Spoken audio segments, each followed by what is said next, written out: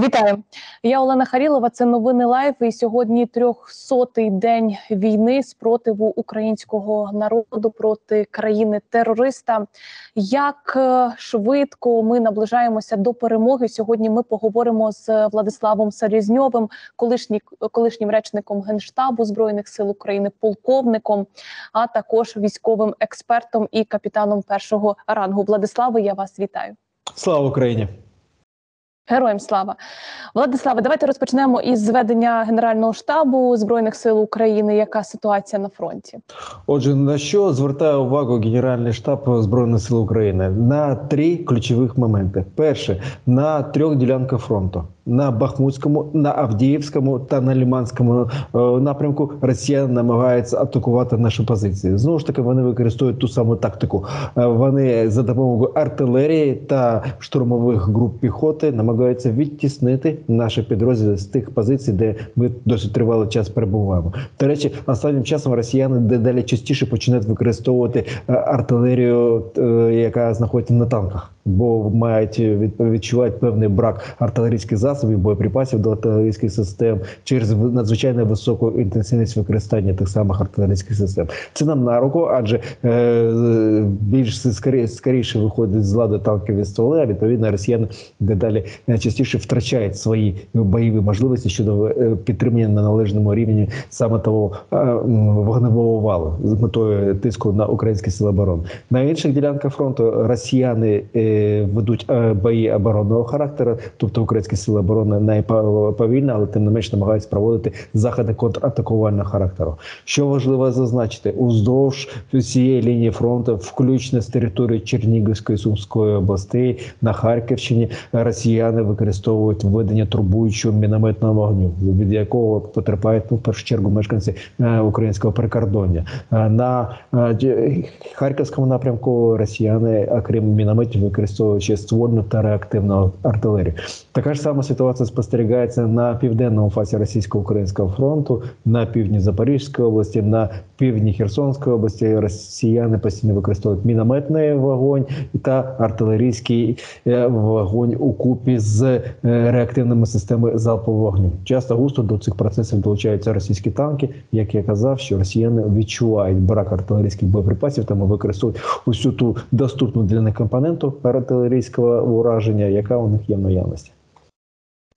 За минулу добу Херсонщину було обстріляно 42 рази. Це лише Херсонщину. Як нам убезпечити прифронтові міста обезпечити від таких ракетних і артилерійських обстрілів. Єдиний шлях е, полягає в реалізації двох важливих кроків. Перший крок він достатньо амбіційний, але на даному етапі ведення бойових дій нереально його зреалізувати. Це відтіснити чим далі від е, Херсона, від передмість Херсона е, російські окупаційні війська. Звичайно, що для того, щоб зреалізувати такий план, треба форсувати Дніпро, треба переміщувати величезну кількість особового складу бронетехніки та артилерії щоб е, в рамках контрнаступу відтіснити російську окупаційну армію у бік тимчасово окупованого Криму. І інший варіант це ведення заходів е, з контрбатарейної боротьби.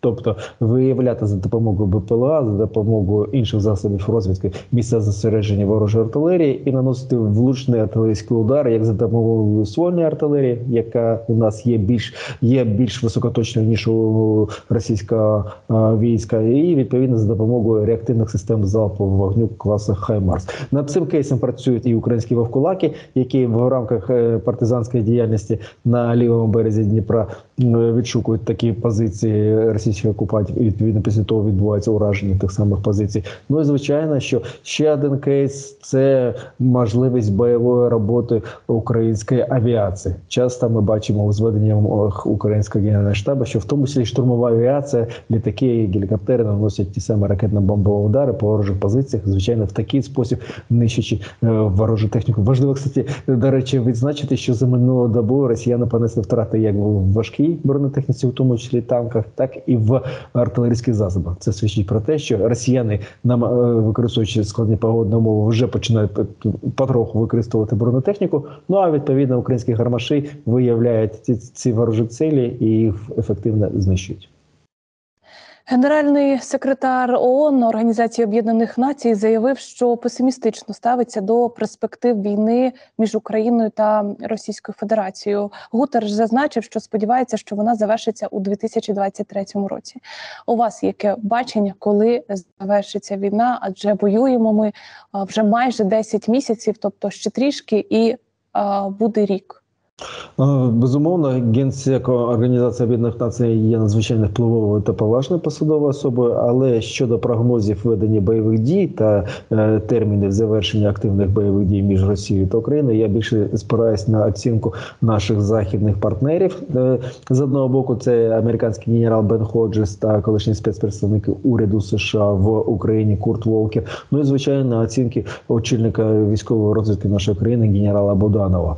Е, ці посадові особи переконані в тому, що активні бойові дії пов'язане з деокупацією території нашої країни в кордонах 91 року, мають завершитись до кінця весни наступного року. Буквально днями е, Бен Ходжес певним чином скоригував е, свої прогнози і акцентує нашу увагу на те, що влітку наступного року будуть завершені бойові дії повним знищенням російської окупаційної армії, яка нині знаходиться на теренах України. Очевидно, що для того на, на нас попереду чекають запекли бої, адже контрнаступ українських сил оборони він буде в тому числі відбуватися в той самий період, коли росіяни будуть намагатися відтворити певні наступальні дії на різних ділянках фронту. На тому е, наголошує е, генерал Валерій Залужний, головнокомандуючий збройними силами України. Причому щодо е, пріоритетності можливих варіантів російського наступу, е, генерал Залужний зосередив на трьох напрямках: це напрямок схід,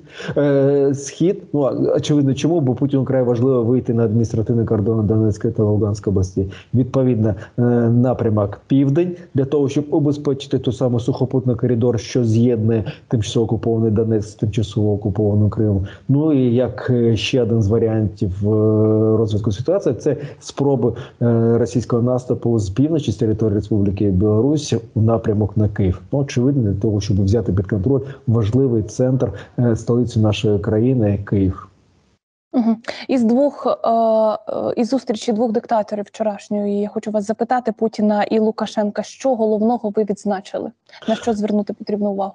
Ну, перше, на що б я звернув увагу усього нашого товариства, так це на те, що Путін готовий йти на порушення міждержавних угод щодо розміщення ядерної зброї. Е, я говорю це в контексті заяви Путіна, що е, віднині білоруські пілоти будуть навчатися пілотувати е, авіаційну техніку, яка спроможна переміщувати в просторі ядерну зброю. Це надзвичайно важливий крок, який має отримати належну оцінку, в тому числі від Організації Об'єднаних Націй, бо розповсюдження ядерної зброї це неприпустимо. Ми бачимо, скільки проблем в зв'язку з ядерною програмою має Ісламська Республіка Іран. Я абсолютно переконаний в тому, що той самий кейс санкційних заходів має застосовуватися в тому числі відношенні до Республіки Білорусь та Російської Федерації. Всі інші питання це питання. Пов'язане з економічною діяльністю, е, знову ж таки є різні оцінки. Чимало експертів вважають, що е, Лукашенко знову ж таки відпетляв і він не буде застосовувати власні збройні сили для того, щоб атакувати Україну з півночі. А те, що е, відбувається концентрація ворожих сил на території Республіки Білорусь, це відзначає в тому числі і генерал Наєв, представник генерального штабу, який е, за допомогою відповідних засобів е, розвідки має оперативну інформацію. Але тут і зараз не йдеться про те, що найближчий час російська армія сформує то саме угрупування військ. Як я наголошував раніше, що не менше 50 тисяч навіть більше потрібно для російської окупаційної армії для того, щоб здійснити ну, хоча б якісь вдалі дії з е, агресії на території нашої країни із півночі. До того часу, е, поки таке угрупування військ не буде сформовано, говорити про якийсь навіть натяки на те, що може статись така атака, е, не варта. Зараз на території Республіки Білорусь перебуває близько 11 тисяч російських чмобіків, які за програмою відповідної підготовки займаються в начальних центрах та на полігонах на території Республіки Білорусь. Зрозуміло, я дякую вам е, за актуальну інформацію і за пояснення. Владислав Сарізньов, е, колишній речник генштабу, полковник, капітан першого рангу, а також військовий експерт, був з нами на прямому зв'язку традиційно о цій порі. Владиславе, ще раз вам дякую. Слава Україні. Героям слава!